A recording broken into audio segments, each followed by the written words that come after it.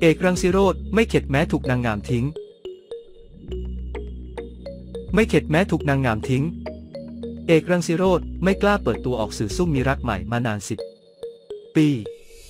อยู่ในวงการบันเทิงมานานเกือบ 20 ปีสำหรับพระเอกนักบูเอก รังสิโรธที่ล่าสุดผันตัวมาเป็นผู้กำกับละครให้กับช่อง 7 ซึ่งบอกเลยว่ากว่าจะมีวันนี้ได้เจ้าตัวต้องเจอคำดูถูกสารพัดของครูผู้มีพระคุณอย่างอาฉลองพักดีวิจิต จากนักแสดงที่ไม่มีพื้นฐานการเล่นละคร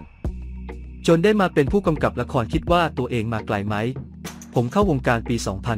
2548 ก็ประมาณ 17 ปี แต่ถ้าเข้าวงการก็เล่นทวิภพหนังใหญ่ก็จะเป็น 18 ปีจากที่ไม่ได้มีความสนใจเลยผมเป็นนักดนตรีที่เล่นดนตรีกลางคืนในผับไม่ได้สนใจทางนี้เลย ก็ถือว่ามาไกลมากมีคนเคยพูดว่าทุกคนไม่ได้เกิดมาเป็นดารากันได้ทั้งหมดหรอกผมจะบอกกับตัวเองว่า เราจะตั้งใจทำงานแบบเต็มร้อยไม่ได้ เพราะเริ่มต้นอาชีพนี้ตอนที่อายุมากแล้ว เป็นพระเอกในวัยใกล้จะ 30 จะมาทำเต็มร้อยไม่ได้ต้อง 200 ทุกวันเพื่อก้าวกระโดดให้ทันคนอื่นเขา พอมันผ่านการทำงานแบบตั้งใจในทุกๆวัน ก็เริ่มรักสนุกกับงานตรงนี้ จากที่ไม่รู้สึกอะไรเลยแค่อยากทำเพราะลบคำสบประมาทคนอื่น ที่ได้มาอยู่ตรงนี้แล้วก็ต้องทำให้ได้ ชีวิตกว่าจะเดินทางมาถึงทุกวันนี้ ไม่ใช่เรื่องง่าย ๆ แต่ก่อนครอบครัวเป็นครอบครัวที่ต้นทุนน้อย และบ้านอยู่ไกลออกไปการเดินทางไปกลับจากโรงเรียนค่อนข้างลำบากพ่อกับแม่เลยพามาฝากไว้ที่วัดตั้งแต่อายุ 15 ปีจนถึง 23 ซึ่งเอกทำทุกอย่างเหมือนเป็นเด็กวัดตื่นเช้ามาเดินตามพระบิณฑบาตพอเริ่มเข้าสู่วัยรุ่น เจ้าตัวก็หางานทำเล่นดนตรีเพื่อหารายได้เสริม